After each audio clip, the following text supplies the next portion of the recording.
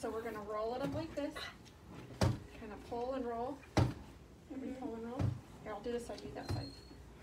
Pull and roll. What's on this big roll. Okay, and then take some thread. And this is gonna cut better than a knife because a knife will just kind of squish it down. Mom, how, how But do this you will cut it nicely like this. how do you get it off? That. Set on your thing. Mom, how do you how do you There rip you it go. off? And then you put Mom, them do you just rip it off? all on here. No, you cut it with a knife. Do they do they get bigger? And you can also use dental floss. Do they get bigger? And then they're gonna definitely grow. Okay, so that's all. We'll show you, before it's gonna rain. show you